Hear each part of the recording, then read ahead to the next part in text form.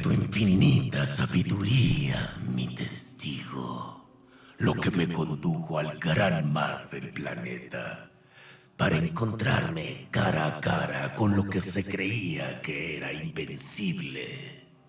Me infundiste el entendimiento verdadero del dominio sin propósito, no por placer, sino como un medio para conseguir nuestro fin absoluto.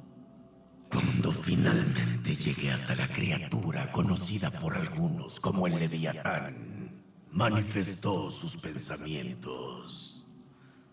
Aléjate de lo profundo, mensajero del miedo.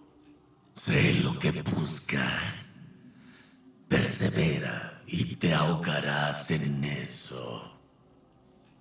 Yo no me ahogo, dije con voz desafiante. En apenas una fracción infinitesimal de tiempo sostuve una costilla de la bestia en una mano y con la otra empujé su arteria mutilada. Yo haciendo.